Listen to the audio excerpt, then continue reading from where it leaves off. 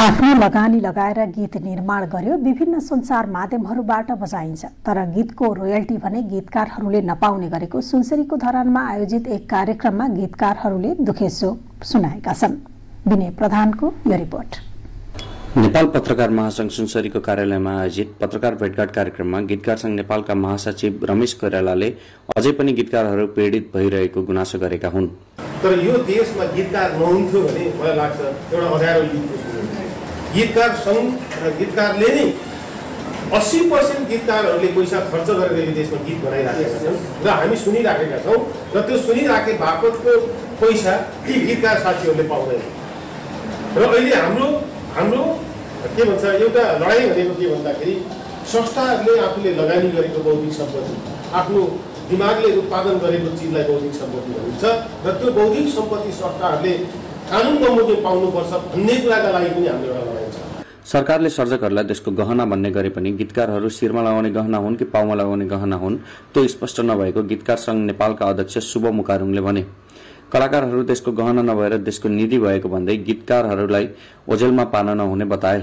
सम्बोधन राष्ट्रका गहना हामी गहना हो भने चाहिँ तपाईँको शिरमा लाग्ने गहना हो कि? के भन्छ? पैदल गहना हो। त्यो स्पष्ट हुनुपर्छ।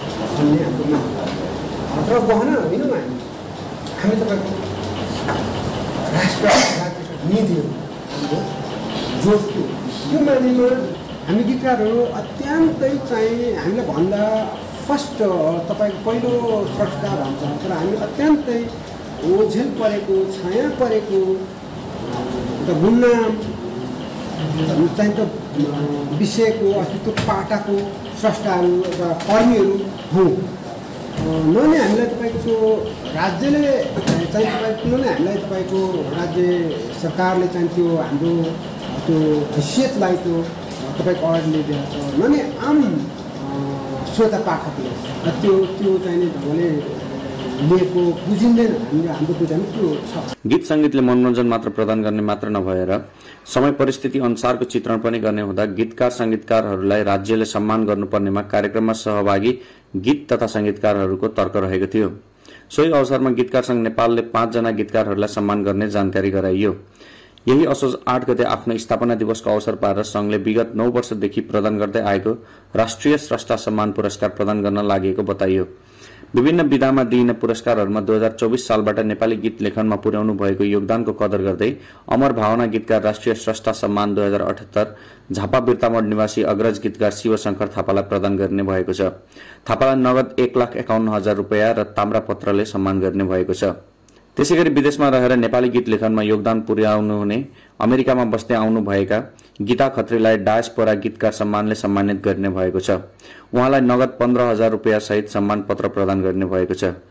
त्यसरी नै गीतकार मानबहादुर ढोङ तामाङलाई तामाङ भाषामा गीत लेखेर पुर्याउनु भएको योगदानको कदर गर्दै विष्णु मनसरा मातृभाषा पुरस्कारले सम्मान गरिने भएको छ। यो पुरस्कारको नगद राशि पच्चिस हजार दुई सय बाहन्न रुपियाँ रहेको छ। वर्षगीत पुरस्कार र वर्ष पुस्तक पुरस्कार दुई हजार अठहत्तरसम्म प्राप्त गीत र पुस्तकहरूबाट छनौट गरी उत्कृष्ट दस गीतहरूमध्ये एक गीतलाई र तीन उत्कृष्ट पुस्तकहरूमध्ये एक पुस्तकका लेखकलाई सम्मान गरिने आयोजकले जनाएको छ।